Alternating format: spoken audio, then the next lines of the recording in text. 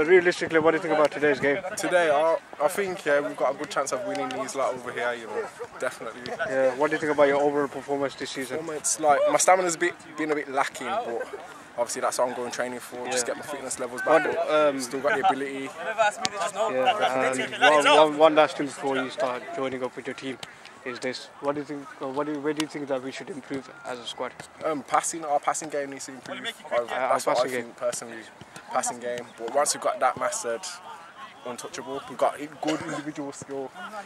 All we need to do is just get the teamwork, passing game going, and we should be all right for the rest, of, the, about it, mate. rest of the season.